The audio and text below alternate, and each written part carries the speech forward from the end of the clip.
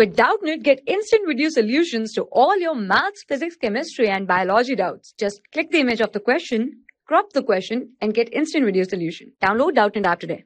Our question is if x equals to 198 factorial then the value of this given expression is okay and the expression is 1 upon log x to the base 2 plus 1 upon log x to the base 3 plus dash dash dash plus 1 upon log x to the base 198 if we have 1 upon log a to the base b then we can write it as log of b to the base a. Okay?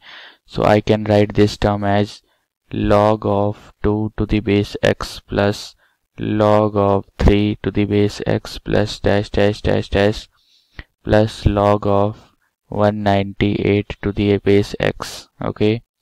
We know that log of 1 is 0 so I, I can write 1 log 1 to the base x is 0 so we can add 0 in any equation the our equation remains same. So we know that there is a formula formula that if we have log of a plus log of b then we can write it as log of a into b.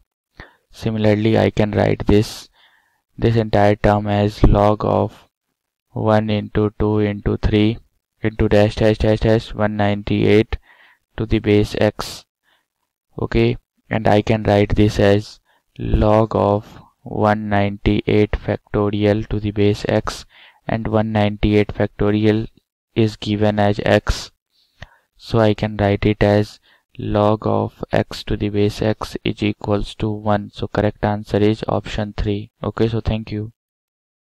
For class 6 to 12, IIT JEE and NEET level.